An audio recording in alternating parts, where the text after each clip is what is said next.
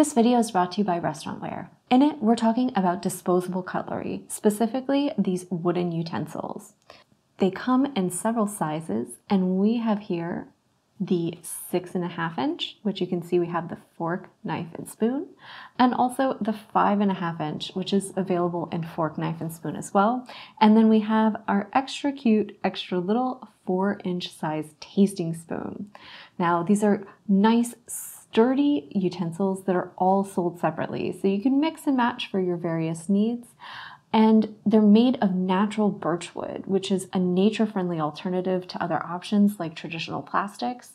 It's also heat resistant and really sturdy, meaning they're going to be great for a variety of things. The larger size is almost a right there the size of a full-size utensil. And It is going to be great for things like dinners, lunches, even to-go meals. The smaller ones are going to be fantastic for apps, desserts, and kind of like tasting portions, something where you want a little bit more petite utensil.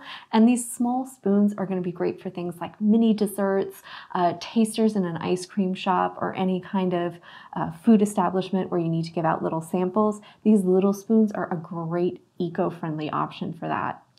They're sturdy and solid, so they can be used for anything you can dream of salads, lunches, dinners, apps, entrees, and they're also a stylish, eco-friendly option that adds just that touch of nature in there. And so they're going to be a great thing for cafes, fast casual restaurants that's looking for a disposable option that's not plastic, as well as places like food trucks or to place in to-go orders um, with packed lunches from caterers or just to be used at events.